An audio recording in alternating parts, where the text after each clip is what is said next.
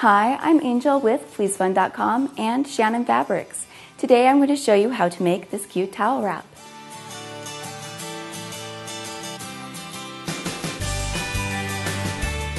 For this project, you will need the following.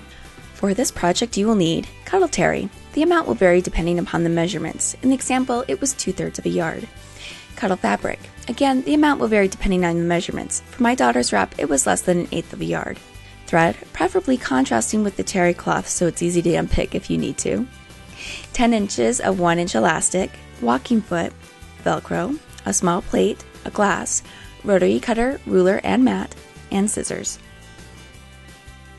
Alright, once you have all those elements, it's time to get started. You'll need the following measurements to make this wrap. The chest measurement. Chest measurement should be high on the chest. Length. Measure from approximately the place of the chest measurement to where you want the wrap to fall. I recommend just above the knee. Alright, now that you have all these measurements, it's time to move on to the next step. Next, you'll need to calculate the dimensions of the wrap. To do that, we're going to do some basic math. Take the chest measurement and add 6 inches. So for my little girl, she has a chest measurement of 20 plus 6. The width of the wrap will be 26 inches. For the length, it will be the length plus 1.5 inches. So again, my little girl had a length of 18.5 plus 1.5, which is 20. So the final dimensions for my terry cloth will be 26 inches by 20 inches.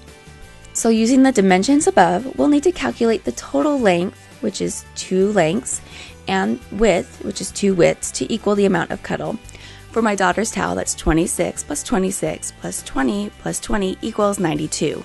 I need a 2 inch strip that is 92 inches plus 3 for overlap. Since cuddle is typically 58 inches wide, 60 minus the selvage, I know that I will need to cut at least two 2 inch strips and join them together to be 116 inches long, perfect for covering the towel, and less than an eighth of a yard. Alright, now that you have all these measurements, it's time to cut out your cloth to the right dimensions. One step that is extremely important before you begin is you need to wash and dry your terry cloth. Um, it's, it will shrink in the wash, and it's very important that you do that, especially since cuddle fabric does not shrink, and that's what we're binding it with. So if you're buying something that doesn't shrink with something that does shrink before you've actually shrunk it in the wash, it can have disastrous results, and I don't want you to have that. So please be sure to wash and dry your terry cloth before you begin your project. I normally just throw it in the wash, I don't even finish the ends. If you're worried about it unraveling too much in your washer, um, just zigzag stitch along the ends to kind of minimize fraying, but you need to wash and dry it before you begin. Cut the terry to the dimensions you calculated. To give the wrap a little styling, we're going to make the corners curved. Place a small plate on the bottom corners of the wrap and cut out the corners to make the curve. Repeat on the top using the glass for a smaller curve, then set aside. Now, cut the 2 inch lengths of cuddle terry that you calculated. I'm not going to give you an in-depth tutorial on how to bind it as I actually have this video right here that can show you in depth about binding fabric and I actually use terry cloth in this example. So you can click on this video and view it here and then come back to this tutorial to finish up. Terry cloth unravels, so the edges must be finished properly. We're going to use cuddle cloth as the binding, using an old machine binding trick. Please watch the video tutorial to show you detailed instructions on how to do this.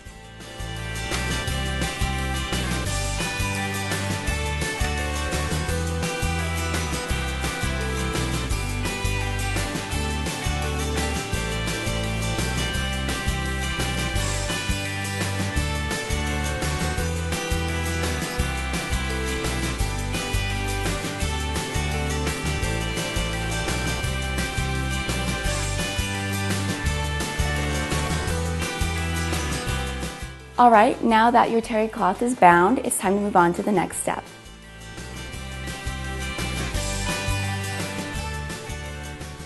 Turn the top of the wrap down one and a quarter inches. Pin.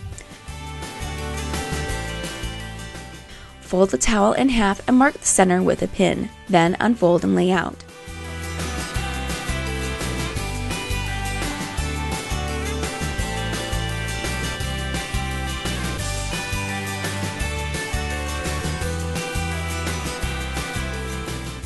Take your length of elastic and center it under the center pin.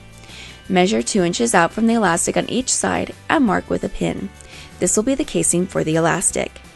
And normally when you do a casing, you just sew all the way across, but because we're adding elastic just in the middle of the towel, we're going to do it a little bit differently. Using a walking foot, sew along the edges of the binding between the two pins that you just marked. Do not sew down the rest of the casing. Next, place a safety pin on the end of the elastic. Thread elastic into the casing. Line up the end of the elastic, the one without the pin, with the end of the sewn casing. With the elastic sandwiched between the terry cloth, sew down the edge of the elastic. Next, using the safety pin, pull the elastic through the casing to the other side. Fabric should begin to gather and stretch as you do this. Pulling the elastic taut and making sure that the end of the safety pin is out of the way, sew down the other side of the elastic at the other end of the casing you just made. Now you can finish sewing down the casing on either side of the elastic. All right, looking good. Keep going. Cut 3 to 5 inches of Velcro for a girl. You will need to determine the length that you want.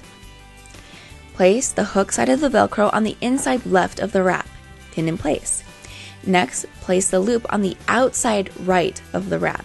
This is important that you understand it is the outside right of the wrap and not the inside. Pin into place. Sew down, trim your threads, and you're finished. If you like this tutorial, I have several others on my website, fleecefun.com, that I know you'll enjoy. All my patterns and tutorials are free. Also, I have great recipes and craft ideas on there as well. Also, please be sure to check out my YouTube channel. I have over 80 tutorials on there to help you out making cute sewing projects and a couple others as well. Have a great day. Remember, velvet is pretentious, fleece is fun.